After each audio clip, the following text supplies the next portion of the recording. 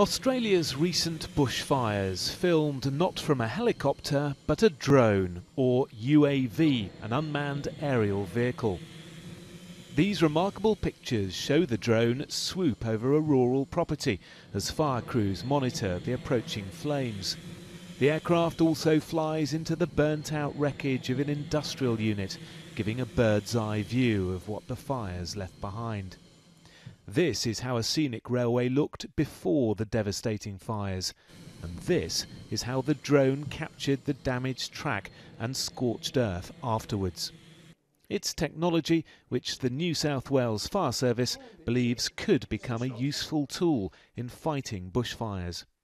It's only giving us more advantage of actually working out what's going on with the fire and what's going on on, on our fire grounds particular spot fire or, or also the dangers or being able to w- look into the bush and for any cliff faces or anything like that. Look, yeah, it, it would be a, a, a definitely a consideration.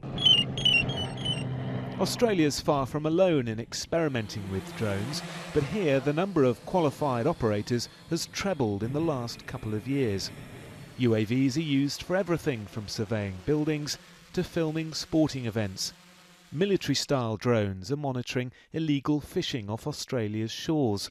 Indoor outdoor layout blends enhanced functionality with They're even being used to sell houses.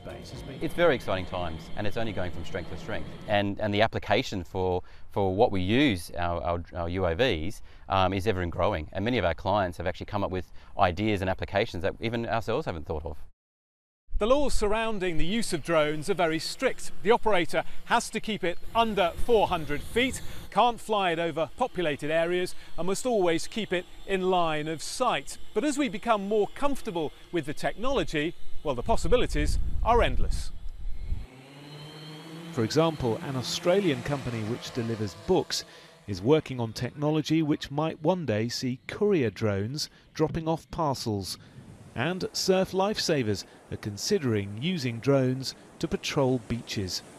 The future, it seems, is very much up in the air. Jonathan Samuels, Sky News, Sydney.